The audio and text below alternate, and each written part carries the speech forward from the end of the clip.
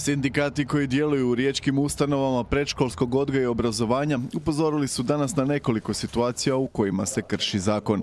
A nakon što inicijativa za pregovore oko aneksa kolektivnog ugovora nije urodila plodom, započet je proces mirenja. Prvi sastanak održat će se u četvrtak.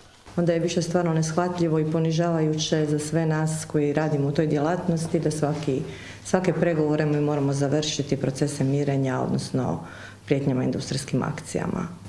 Zato smo danas ovdje i šaljemo im jasnu poruku da mi od svojih nakana nećemo odustati.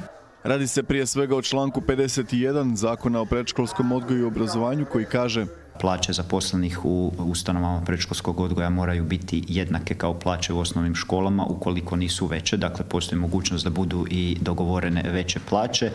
Brzo nakon potpisa kolektivnog ugovora u lipnju prošle godine u osnovnim školama je došlo do povećanja plaća. Što znači da mi već sad pet mjeseci kaskamo za, za tim osnovnim školama u plaći. O, ljudi su, kažem, nezadovoljni.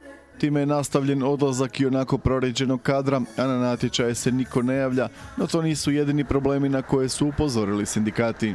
U zakonu o preškolskom odgoju u državnom pedagoškom standardu stoje točno norme koje se moraju poštivati kod otvaranja novih objekta.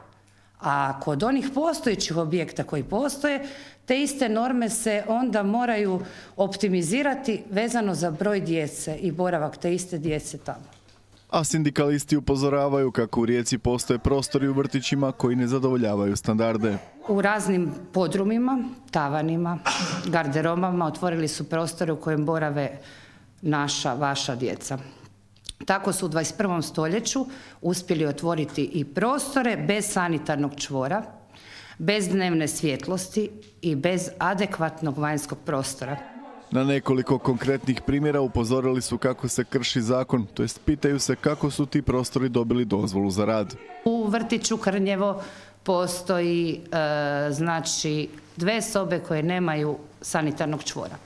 To su znači novo otvoreni prostori kako bi se obuhvatili, obuhvatila djeca koja su na listi čekanja. U Kvarneru vam je od pola kuhinje napravljena isto soba koja apsolutno ne zadovoljava nikakve uvjete.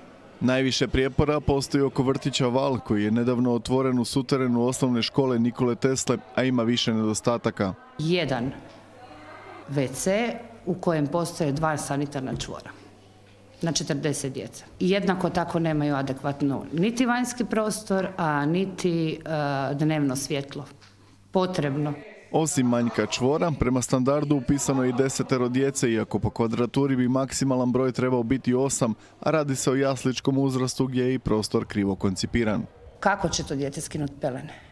Proći koliko metara zajedno sa svojim odgajateljem do sanitarnog čvora, a gdje su za to vrijeme ostala djeca? Nezadovoljstvo je sve veće. Sindikati kažu da neće odustajati od svojih zahtjeva, iako do sada nisu dobili niti jedan protuprijedlog od strane grada, osim da po kalkulacijama nema sredstava za ispunjenje njihovih zahtjeva.